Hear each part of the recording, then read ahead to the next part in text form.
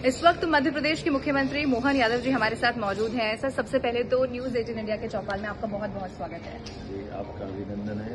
मैं बाबा महाकाल की नगरी से आना हूँ, राजापुर की नगरी से आना और न्यूज़ एटीन के इस कार्यक्रम में निश्चित रूप से आपके माध्यम से सभी दर्शकों का भी मैं स्वागत करता हूँ, अभिनंदन करता मोहन जी, एक सबसे बड़ा सवाल जो आज मैं आपसे पूछ रही हूँ वो ये है कि जब क्योंकि एक बहुत सरप्राइजिंग था आपका नाम मुख्यमंत्री के लिए जब हमने सुना, क्योंकि उसके बाद एक उदाहरण सेट हुआ कि अगर पीछे की पंक्ति में भी आप कहीं बैठे हैं तो आपके काम को देखा जाएगा। मैं जानना चाहती हूँ कि उस वक्त आपको कैसा महसूस हुआ?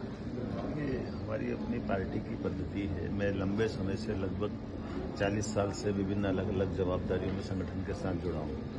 तो इसलिए इस पार्टी की रीति नीति को जानता हूँ और जब से हम यशस्वी प्रधानमंत्री 2014 से बने हैं, उनके नेतृत्व में भाजपा के कार्यकर्ताओं का और मान सम्मान बढ़ा है। वो जो करते हैं, वो अद्भुत करते हैं। और वो सामान्य से सामान्य कार्यकर्ता का ध्यान रखने में तो एक सामान्य तौर पर मजदूर परिवार के बेटे के नाते से मेरी पहचान है लेकिन ये माननीय मोदी जी और हमारी भारतीय जनता पार्टी की विशेषता है कि उन्होंने मौका दिया और जो जवाबदारी मिले वो हम सबको इतनी ट्रेनिंग हो जाती है कि वो काम करने में कोई कठिनाई नहीं आती। बिल्कुल। अच्छा अब न्यूज़ एटीन इंडिया चौपाल इस बार हम दो तक विकसित भारत का जो संकल्प है उस पर बात कर रहे हैं। मेरा आखिरी सवाल यही है कि उसको लेकर मिशन आपको क्या लगता है आने वाले दिनों में या केंद्र सरकार का इस वक्त क्या लगता है?